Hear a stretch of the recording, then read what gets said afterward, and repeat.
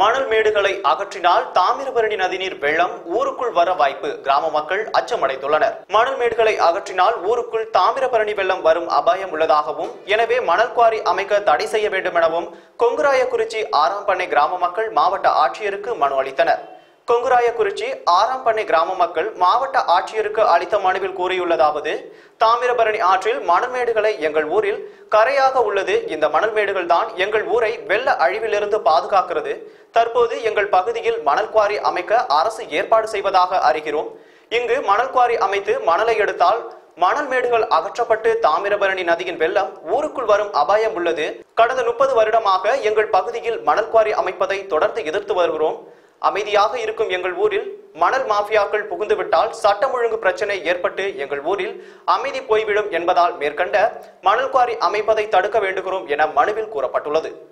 இந்த கோரிக்கையை மாவட்ட ஆட்சியரிடம் மாமக மாவட்ட தலைவர் யூசுப் தமாமுக மாவட்ட துணைத் தலைவர் புகாரி ஆகியோர் எடுத்துரைத்தனர்.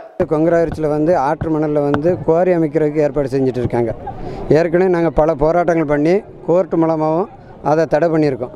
திரும்பவும் அதில் வந்து இப்போதைக்கு முயற்சி நடந்துகிட்டு இருக்குது எங்கள் ஊரில் கட்டாயம் மணல் குவாரி அமைக்கக்கூடாது. அப்படி அமைச்சால் ஊர் பொதுமக்களை கூட்டி எல்லா சமுதாயம் சேர்ந்து நாங்கள் போராடுறதுக்கு தயாராக இருக்கோம். கோர்ட்டு மூலமாக இருக்கோம். எங்களுக்கு பாதுகாப்பே மணல் தான். எங்களுக்கு அந்த மணல் எடுத்தாச்சுன்னா ஊர் ஃபுல்லாக அழியக்கூடிய இது இருக்குது அதனால் மாவட்ட கலெக்டர் இதில் முழுமையாக இருந்து எங்களுக்கு முழு பாதுகாப்பு தந்து அதில் குவாரி எக்காரணத்தை கொண்டு அமைக்கக்கூடாது. அதனால் எங்கள் ஊரில் இந்த மணல் மாஃபியாக்கள்னால ஒரு சில அசம்பாவித சம்பவங்கள் நடந்திருக்கு. உயிரே பல ரெண்டு பேர் தியாகம் செஞ்சுருக்காங்க. அதனால் இதை மாதிரி எந்த சம்பவம் நடக்காமல் இருக்க மாவட்ட கலெக்டர் இதுக்கு உறுதுணையாக இருக்கணும்.